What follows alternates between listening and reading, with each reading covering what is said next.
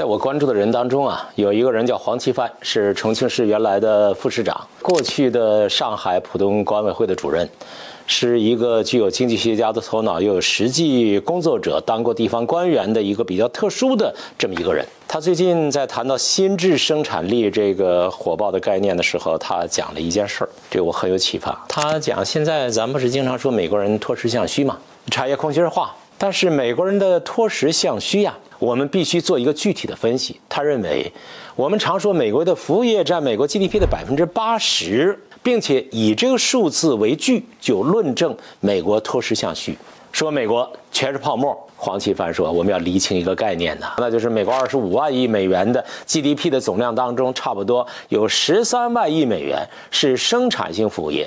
为什么要强调这件事儿？知己知彼嘛，我们要增强自信很重要。但是你弄不清实际情况，概念都不清楚，那当然不行啊。美国 GDP 当中有十三万亿是生产性的服务业，它跟制造业相关呀，是高科技的服务业。在这一点上，我们有短板，而人家有长处。你反对美国霸权主义和向美国学习，这两个东西并行不悖。为什么老有人骂司马南反美？我不接受你封给我这个头衔儿。什么叫反美啊？反对美国霸权主义和向美国先进的科学技术学习，那完全是两个问题。你现在中国生产性服务业这一条，你和美国对比，我们的短板很明显。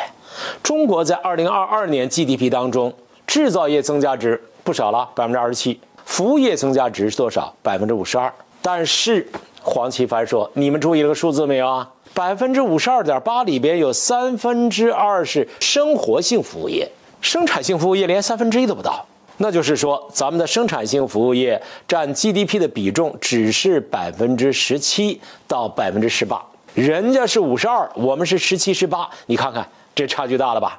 列宁说对具体情况做具体分析是马克思主义活的灵魂。我们讨论任何问题都需要具体化，而不能摇一个概念就完了。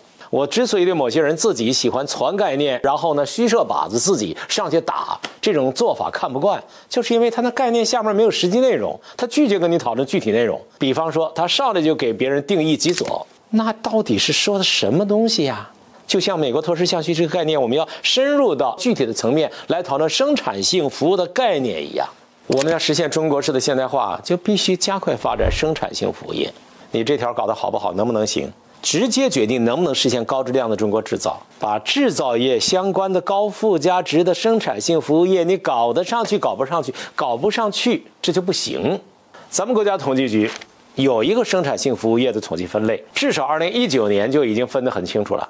生产性服务业包括为工业活动提供的研发设计和其他的技术服务，运输也算了，通用航空生产算了，仓储也算了。邮电快递也算了，信息、金融、节能、环保、生产性的租赁服务、商务服务、人力资源、职业教育培训都算，批发、贸易、经济代理服务、生产性支持服务这十个板块和制造业是强相关的。制造业的各种附加值、服务性的附加值都是由它来代表。这些东西如果不到位，那你制造成本你就达不到高端化呀。现在咱们国家的制造业的增加值。占全球比重百分之三十或者接近百分之三十，但是我们应该看到，与制造业强相关的生产性服务业相对来说比较滞后。中国在全球产业链供应链当中位置不高的根源就在这儿。我们是全产业链，产业集合效应非常强，我们什么都能生产，但是我们在全球产业链供应链当中位置不高呀。黄奇帆还谈了一个问题，这也比较要命。咱们的服务贸易啊，结构比例跟世界上其他国家不太同步。中国服务性贸易出口，二零二二年二点八五万亿人民币，一半以上都是生活性的服务业的出口。中国有三万多亿人民币的服务贸易进口，进口的基本都是生产性服务业。大部分不是中国贸易公司做的生产性服务业进口，而是给在中国的那些外国服务贸易公司做的生产性服务业，是人家输入到中国来生产性服务业对那些外资企业的。咱们输出的都是生活性服务业，咱们进来的生产性服务业，但是生产性服务业不是和中国贸易公司呃产生联系了，而是为外资服务的。黄奇帆点明了这个问题的要害。黄奇帆说，在这个意义上来讲，你培育我们现在说的新质生产力，实际上就是要使中国的服务业的至少一半以上，那美国人是一一半以上嘛，是生产性服务业。这样整个 GDP 板块中，生产性服务业你要现在努力要达到百分之三十吧。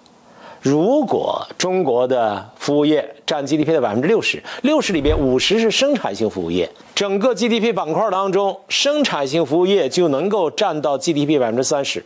即使我们实现了这个目标。我们跟欧洲比，人家四十；跟美国比，人家五十以上，我们还是低的。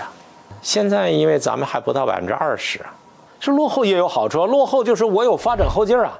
如果增加十个百分点，从二十增加到三十，现在咱们一百二十多万亿的 GDP 来说，那就有十二万亿。如果服务贸易也增加，那现在百分之十二的比重增加到全部贸易总量的百分之三十。